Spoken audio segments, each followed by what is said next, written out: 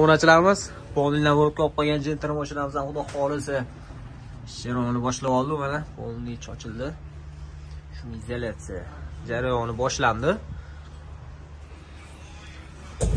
hop bir seli rezinkalari bo'lardi, unaqa narsalar qo'yilmagan ekan.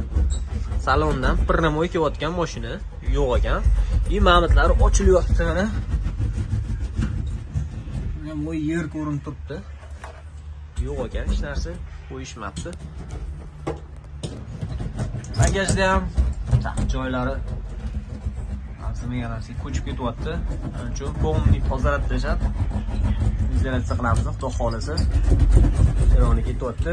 Bitta ham rezinkalarni qo'yishmabdi, yog'ingarchilik paytlari suv o'tib ketadi. Izolyatsiya zarur ekan mashinaga lekin Xolis yana chiroqlarni qo'yib boramiz, ko'rib baho berasizlar. Qilayotgan ishlarimizga bizlarni kuzatishda davom etinglar. E'tiboringiz uchun rahmat.